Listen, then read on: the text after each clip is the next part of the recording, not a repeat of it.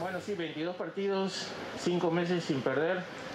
Es un mérito, ¿no? Pero también es una presión. Es una presión porque hay que defender lo, avanzado.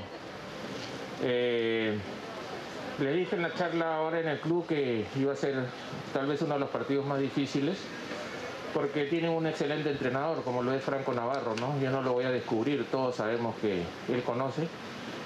Y el gol tan tempranero puede causar dos sensaciones, ¿no? Que el partido ya está ganado o que eso es todo lo que puede tener este ADT. Y nadie lo sentía así, ni nosotros ni los jugadores. Sabíamos que iba a ser difícil.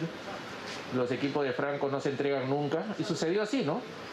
Igual creo que supimos manejar los tiempos.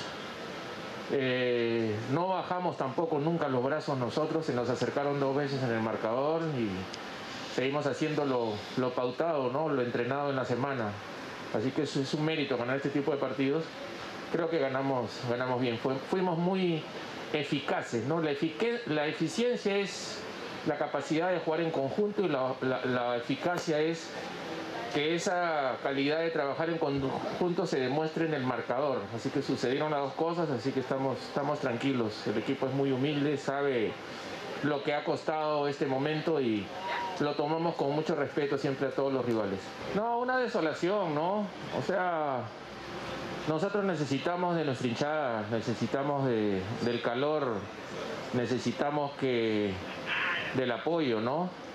Y bueno, es, una pena, pero bueno, hay, hay medidas políticas que a veces afectan el, fútbol y tenemos que entender a la policía que no se da abasto con tanta actividad política, así que, pero de mi gusto, no, no es de mi gusto jugar sin, sin público, nunca lo ha sido. No hay preocupación por quién juega acá.